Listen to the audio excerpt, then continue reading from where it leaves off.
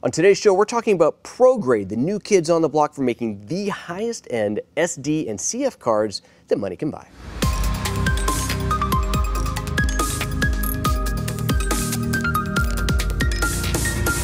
Good morning and welcome to PhotoJoseph's Photo Moment, the first live three times a week show here at youtube.com slash PhotoJoseph every Monday, Wednesday, Friday, 9.30 a.m. Pacific. We're here talking live about things, photography, video, live streaming, and all sorts of related type of things. If you can watch the show live, you get to participate in the comments, the chit chat right here. We do a Q&A at the end of the show. If you have a question, make sure you put a, a PhotoJoseph, like uh, Mr. Sean Mark Nipper just did there, in front of it. And then at the end, when we pull up the cues, we can, uh, we can make sure that I get your questions answered. I see them because they've got my name on it, and I know it's a question to talk about. So today, we are talking about something from a company called ProGrade. Now, there's a little bit of interesting history here. You, if you're a regular to the show, you may have heard a little bit of this before. I had a longtime friend of mine, Jeff Cable, who is a photographer and used to be an executive at Lexar. He came on the show to talk about his photography with the Olympics, and we have, uh, we'll link to that up here. We did that interview. It's quite a few months ago. It was, it was a lot of fun. Saw some great images. Uh, he left Lexar a while ago, and then some point after he left, Lexar had shut down their card division. And some of the people from Lexar went, oh, this kind of sucks, and uh, got together with some other high end industry folks and launched a company called ProGrade. The whole idea behind ProGrade is it is a professional memory card manufacturer. They do cards for the pro. This is not something you're going to find at Walmart. This is not the cheap cards to drop in your point and shoot. If you are a working pro, primarily for photography or video, but as you're going to find out with these higher end cards, this is really targeted for the video market.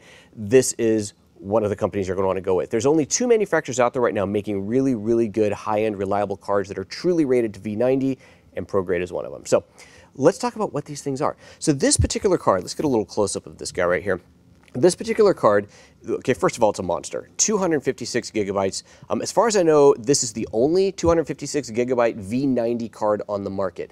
And it's V90 because that is the speed, the V rating for video over 90 and it is just it is phenomenally phenomenally fast. While i've got a close-up here i just want to show you something before i forget. There is a um, serial number embedded or etched i should say etched onto every single card unique serial number so that the company can track the card and knows when you call in exactly when it was made you know if you ever have any problems exactly when it was manufactured what firmware it's got on it and so on. So um, that's kind of awesome. I just wanted to show that while i had that on there.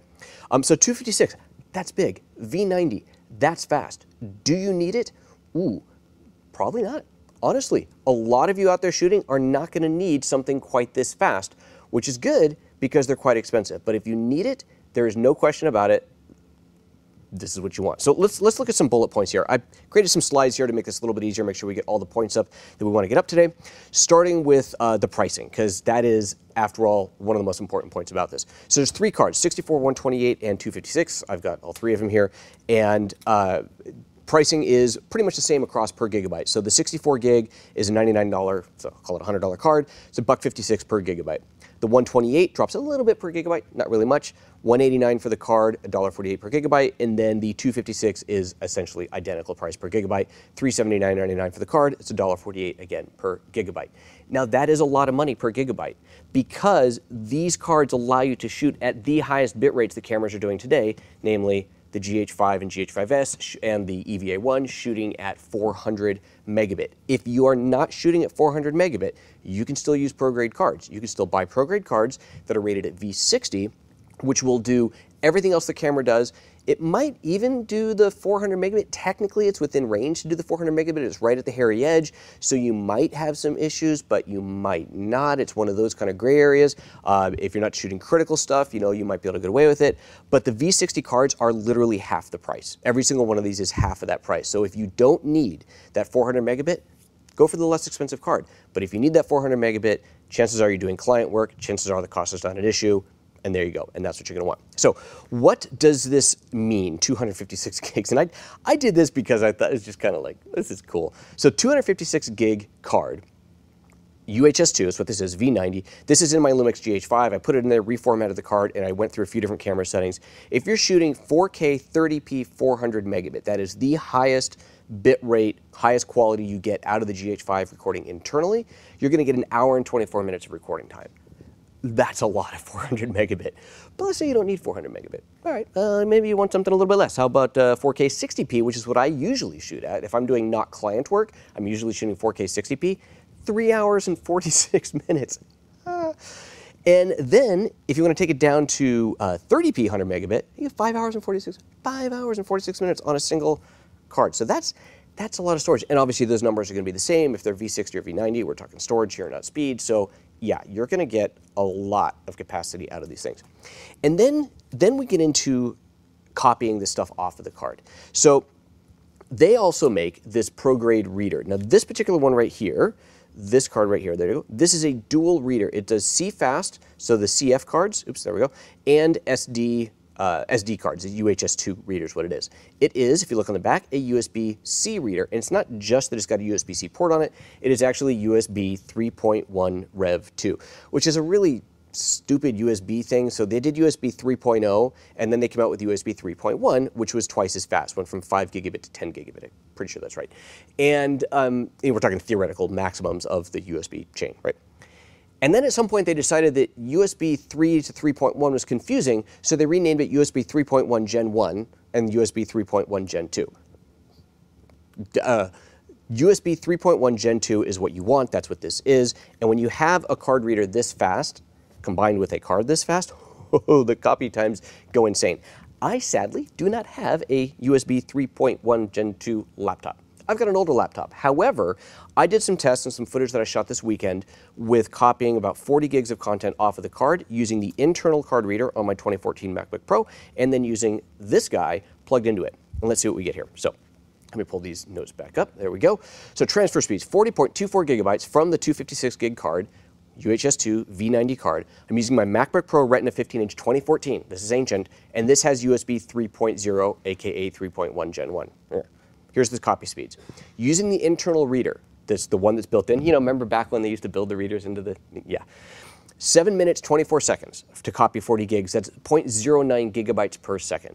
I take this reader and plug it into this laptop, and the speed is over two and a half times as fast. It goes to 2 minutes, 38 seconds, a quarter of a gigabyte per second. Not too shabby. Now, again, I don't have 3.1 to test. Obviously, the maximum speeds of what are claimed are theoretical. Maximum, no one ever hits those speeds. But the claimed data speed, theoretical max, yada yada, is 1.25 gigabytes per second. So another five times as fast. We're not going to get there, even if it just doubles. Even all you get is doubles, that would bring it down to what, a minute and 20 seconds to copy 40 gigs off of the card. Huh, pretty good. And that's copying to the internal SSD on this machine. Um, again, if you have a latest and greatest MacBook Pro, it'll be even faster than that with USB 3.1, faster SSD drives, et cetera, et cetera. But that's what I'm getting today, which I think is relevant because not everybody out there is rocking the latest MacBook Pro. 2014 model, that's what you're getting off of there. So with that in mind, it is absolutely worth buying this. This reader is $80. It's not a huge expense, and the speed performance is significant. Another big deal about this reader is that it will read both cards simultaneously at full speeds. So if you are shooting a camera that has CF and SD, you can, or just multiple cameras, CF and SD, you can import both simultaneously. I have asked the company um, if they're going to be a dual SD card version, because like that's what I would like, and they just stared at me. So you know, I'm sure it'll come at some point, right? That's one of those things. Um, it's pretty obvious, but this is what they got on the market right now. Um, and again, at 80 bucks, I think it's well worth it to have the, the faster speeds in there. When you buy that, by the way, you get two, let's get a close up on here again. You get two SD cables. You get a USB-C to standard USB um, A, I think that is adapter, and then USB-C to USB-C. So you've got both types of cables on there. The other really, really cool thing about this is how this attaches to your laptop. So check this thing out. Um, I don't, I haven't stuck this on yet. It comes with this. This is not just a little badge. This is actually a sticker. I'm not going to peel it off right now because I need to put this on. It's a sticker, very thin magnetic sticker that you put on the back of your laptop and it magnetically attaches. So the idea is that we go and take this, and I would stick this on, which is a nice little branding for ProGrade. Hmm, well done. Stick that on there, and then whenever I want to use this, I just magnetize that onto there, and obviously the sticker is stuck on, and away you go. Pretty cool, so that means you don't have to kind of be jumbling with this thing dongled hanging off of your, you know, you get it. Okay. So, hey, um, real quick, I want to tell you something, just remind you real quick about our value for value model we do here on the show. If you feel that you have learned or gained value from today's show, we would appreciate a little bit of value thrown back at us. If you go to photojoseph.com slash support, there's lots of different ways to put value back into the show, including membership of the site, which will give you access to things like the live training unlimited, as well as the business to the business of the business interviews, of which we're doing number two tomorrow with my friend Kenneth Lim. So I'll give you unlimited access to all of that, and it's just a great way to help support the show. For this particular episode, I am going to give you another way to support it, which is to support yourselves as well, and that is a way to buy these cards and get 10% off. So we'll, we'll kick that off at the end there, show you that. Um, okay, a couple other points here. I had some notes on here, things I wanted to make sure that I told you about on this data, on these little points here. Um, quality. Okay, this is some information that I got from ProGrade themselves. I was asking them about the quality of these cards because obviously when you're talking this price, this speed, this caliber, you kind of expect some quality to happen in there. And the guys that founded this, they went into this market with the explicit concern, the explicit intention of being the highest quality cards that money could buy. That's, this is what they want to do. So they told me a little story they told me that in the industry of card manufacturing, there's a variety of testing that happens pre-manufacture, of course. And they, you know, once they develop their cards and they go, right, draw a line in the sand, this is how we're manufacturing their cards, and then they go off into production. Every card that comes off of the production line, standard industry practice, it gets tested. Every single card gets tested. It gets tested for about 45 seconds. At 45 seconds of testing, that's enough for the most part to tell you whether a card's a pass or fail. It gets put in packaging and off it goes. At that 45 seconds testing, there is about a 2% failure rate in the market, meaning about 2%, two out of every 100 cards or one out of every 50 card that you buy is going to fail. And you know it'll be replaced on a warranty, whatever. But you know that kind of sucks, right? You don't want that. ProGrade wants to approach, wants to have a zero percent failure rate. And so what they're doing is every single card that comes off the production line, every single card, gets every single memory sector tested every single sector is written to and read back from, and that takes 45 minutes. Every card, every single card gets 45 minutes of testing instead of 45 seconds. That's fantastic. That really tells you when you get your card, this thing has not just been looked at cursorily, it is an actual proper test. This is part of why the cards cost what they do. They go through this extensive testing, but again, you get what you pay for in this end, in this type of the market, in this end of the market, this market, you know what I mean. Um, you know, put your money where your mouth is, blah, blah, blah, all that. You get what you pay for. It is definitely worth the cost on that. So another point I wanted to make out.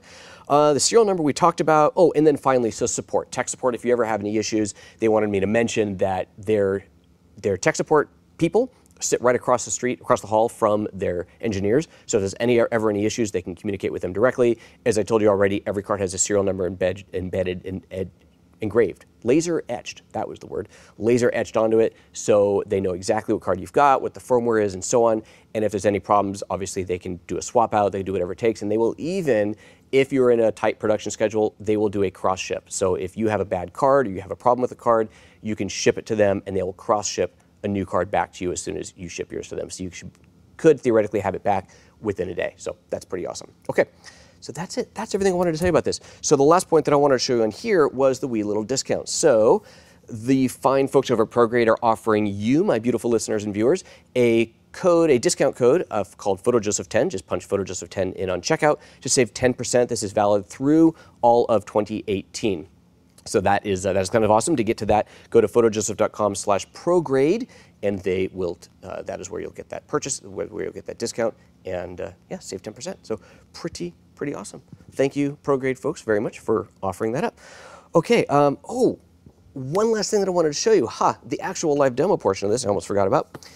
So if any of you follow me on Twitter, you may have seen over the weekend I was out shooting a bit with this. I've, the GH5, I was shooting, this is, um, I saw somebody in the beginning asking what this is. This is the Canon 50mm f1.2 with the Pixco lens adapter. So I was talking about that. I think that was Monday's show last week, whatever. We'll link to that up here. Um, I did a show last week about this adapter. It's kind of a um, kind of a poor man's uh, speed booster. And this red thing on top of it, on the front of it, I think it was Sean who asked, that's just a variable ND. I bought one with red, so it matched the red. It just kind of looked cool. Uh, anyway, so that's what this kit is. So I was shooting with this over the weekend, shooting at 400 megabit, which isn't something I really often do, but since I had the capability here, and obviously wanted to get some time testing these things, I was shooting at 400 megabit. Incidentally, I was shooting in HLG, which I've never done before. Um, I have not yet um, looked at the footage. We'll see if I got anything out of it, but I was out shooting with it. And here's what I wanted to show you. So let me make sure we're all set up here. Yes, we are. If you have ever worked with less than super, super fast cards, you know that when you're recording, Well, first of all, you could get dropouts. It's, it's possible that you'll get a thing that says, oh, card is not fast enough. And if you've tried to shoot 400 megabit on an inferior card, you'll, you've definitely seen that error before. Card is not that fast enough, recording stops. But even on cards that should be fast enough, but are not actually properly designed, properly engineered, properly tested, you will have a very slow file closing. And the file closing is what happens when you stop recording. There's a final bit that has to happen. The, the, basically, the camera says, okay, we're done recording. It puts the closing bits onto the file, whatever it is, the wrap, closes the wrapper, if you will, writes that to the memory card, and then it's ready to start shooting again. If that closing takes time, that is time that you cannot be shooting, meaning you hit stop record and you're going, close now okay, it's closed, and then you can start shooting it. I have had that experience with other cards. This card, if you follow me on Twitter, over the weekend you saw that I tweeted something about how there was virtually zero closing delay. So this is what I wanted to show you. So we're going to go back into the close-up view here. Uh, let's see here, there we go. You can see the card, you can see the screen. All right, so I'm going to use the record button to start recording. You see it's recording right there. Okay, I am going to, I'm going to get my microphone right up to so you can hear me push the button. Stopped. Done. Ready to record again. Look at that. Okay, here I'm, I'm going to go 3, 2, 1, 0 on 0. I'm going to push stop. 3, 2, 1, 0. It's about a second and a half before I can start recording again, and off we go. That is what I found consistently throughout the weekend shooting 400 megabit. Wow, that was crazy impressive. That was my biggest concern with shooting 400 megabit was being able to actually start shooting again immediately, and no problems at all with that. So that is everything I wanted to tell you about the ProGrade. Again, if you like what you see, decide you want to buy one, head over to photojoseph.com slash ProGrade, use the PhotoJoseph10 discount, and uh, get 10% off of that card, and that will be valid through 2018. Of course, that's valid for the cards or for the readers or anything else you want on there. All right, guys, that's that. Let's jump into the Q&A show. If you have any questions about what you've seen here today or anything else you want to talk about, you know what to do. Put it into the questions in the live chat down below, and uh, make sure you put at PhotoJoseph in front of it so that I know, and uh, I know it's a question, and I'll bring it up. See you in a moment.